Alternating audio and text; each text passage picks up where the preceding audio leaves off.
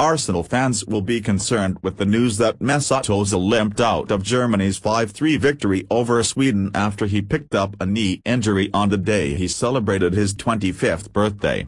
Ozil scored the Germans' opening goal just before halftime after the Swedes, taking his tally to eight for the campaign. But having impressed in his short time with the Gunners in which he has become an instant hit, his night was soured by the injury he picked up with 10 minutes left of the match.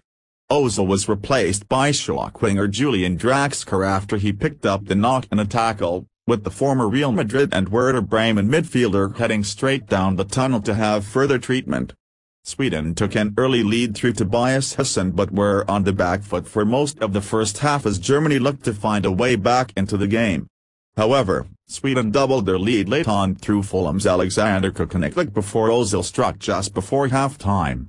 Bayern Munich's recent signing Mario Götze came off the bench in the second half to equalize for the Germans, before Chelsea's attacking midfielder Andre Schürrle scored twice to give them a comfortable